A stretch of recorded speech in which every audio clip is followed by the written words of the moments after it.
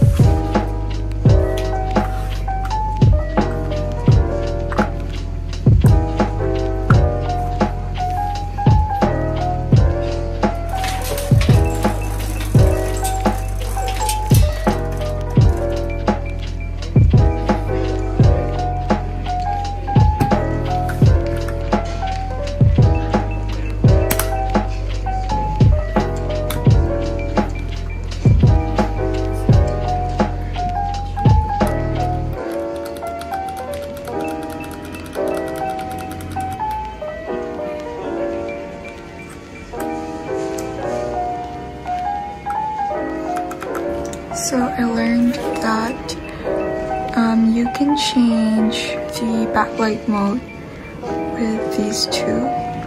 So it has really, really nice colors.